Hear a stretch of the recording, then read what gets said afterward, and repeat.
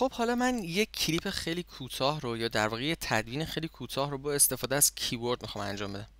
از اینجا به بعد من کلا دستم رو از روی موس برمیدارم و دیگه فقط با کیبورد کار می‌کنم.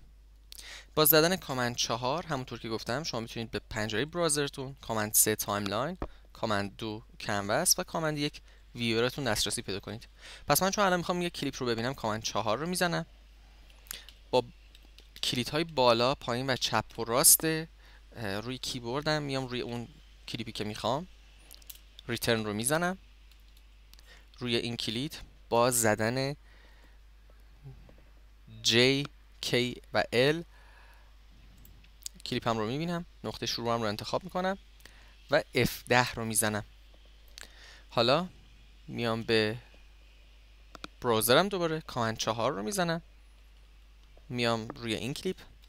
enter رو می‌زنم انتخابش می‌کنم و دوباره با زدن L یا space می‌تونم ببینم. من ممکنه دوست داشته باشم که نقطه شروع من یه مقدار از اینجا عقبتر باشه. مثلا ممکنه من از اینجا خوشم بیاد. I رو می‌زنم. کلیپ رو play می‌کنم. و حالا توی نقطه انتهایی او رو می‌زنم. دوباره F10 کامنت چهار. کلیپ بعدی. شروع. پایان. و F10 و به همین صورت دوباره شما می‌تونید کامنت چهار رو بزنید. حالا اینجا من به جای اینکه از یک در واقع کلیپ بخوام استفاده کنم من می‌خوام یه موسیقی به کارم اضافه بکنم. می‌تونم من بیام اینجا توی folder music. اون موسیقی که می‌خوام رو انتخاب بکنم. و حالا شما ممکنه بخواین playhead تون رو عقب ببرید. شما اگر command 3 رو بزنید یا timeline رو انتخاب بکنید با زدن بالا به cut قبل و با زدن پایین به cut بعد می‌تونید دسترسی داشته باشید.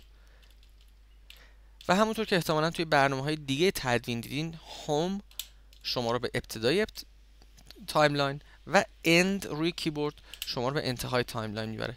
پس من home رو می‌زنم. میام به browser م command چهار. enter رو می‌زنم. یا در واقع همون return رو ببخشید.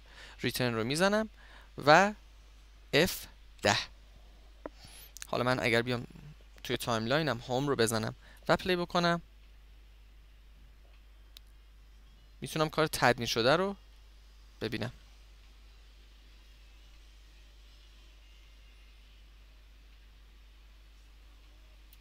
به همین ترتیب شما می‌تونید تمام کارتون رو فقط با استفاده از کیبورد ادیت بکنید و ممکنه اولش یه مقدار براتون عجیب غریب باشه ولی من قول بهتون میدم اگر به این روش عادت بکنید براتون فوق العاده راحت و خیلی سریع خواهد بود.